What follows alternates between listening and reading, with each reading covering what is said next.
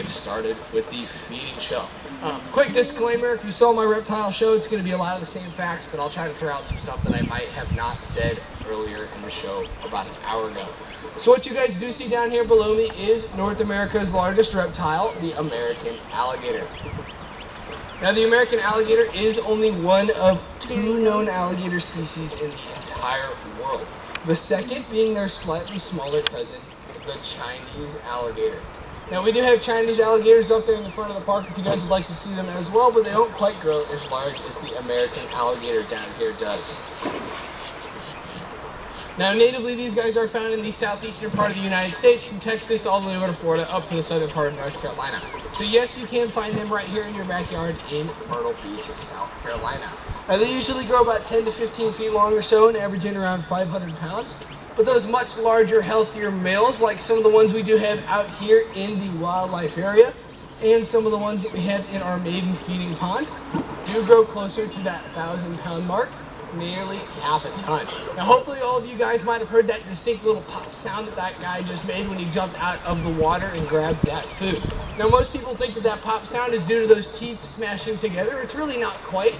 It's due to the sheer jaw force that the animals have. These guys clock in around the third strongest bite force in the animal kingdom, around 2,000 pounds per square inch.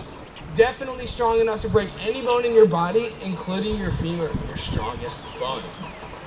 Now they do have quite a few teeth. They have about 80 teeth in their mouth at a time. And those teeth are constantly falling out and regrowing. They can go through about 3,000 of those teeth in their one lifetime. They usually live about 30 to 50 years or so, but once you raise them in captivity, you can add up to around 30 years onto their lifespan.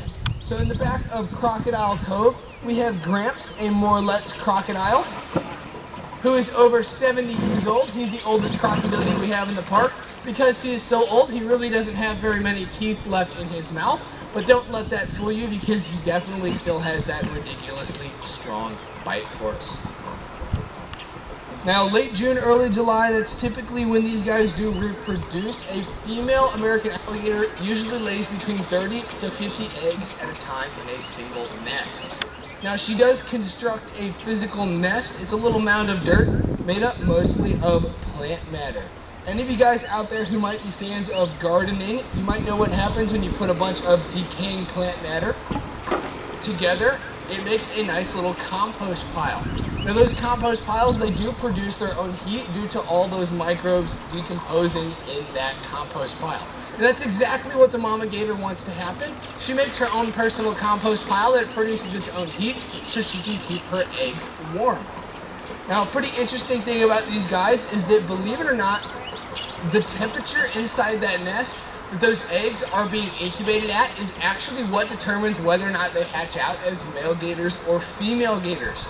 Now, overall lower temperatures in the nest, usually below 86 degrees, produce mostly females, and higher temperatures above 91 produce mostly males.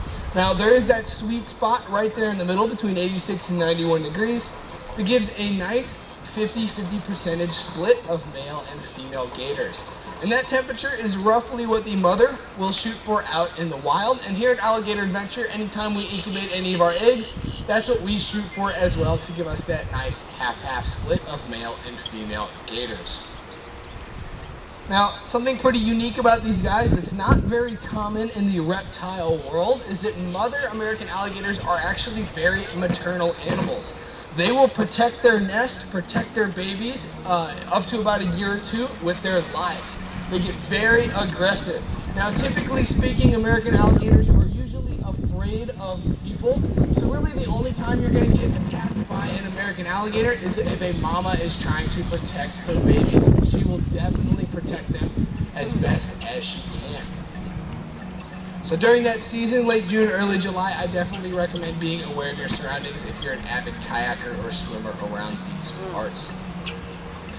Now, one of the most common questions we do get asked here at Alligator Adventure is what is the difference between an alligator and a crocodile? Well, the easiest way to tell that difference is by looking at the snout of the animal in question. So alligators, like the ones down here below me, they have a much shorter, wider, more U-shaped snout. It's a lot more rounded up there at the end. Now, crocodiles, they have a much longer, slender, more pointed V-shaped snout. Another great way you can tell the difference between the two is by looking at their teeth. So alligators have a slight overbite. They have that nice, uh, nice little overbite going on, so you can only really see the teeth on their top jaw. It's pretty tough to see the teeth on the lower jaw of an alligator. Now crocodiles, they have that nice large toothy grin. You can see both the teeth on their upper and lower jaws at the same time. And you guys can feel free to test those drills out today as you are walking through the park to see if you can tell exactly what you're looking at. Now I am down to my last piece of food here, so hopefully I'll be able to get one more good jumper for you guys.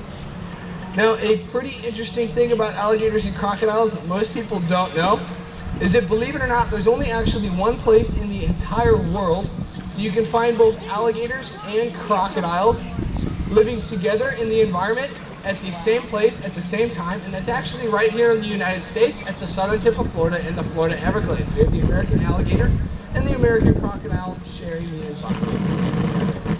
Now, like I said, guys, that was all the food that I have for you today, so that is going to conclude the show. Thank you guys very much for coming out. Again, my name's Evan. If you guys have any questions for me or you just want to talk to me, feel free to catch me.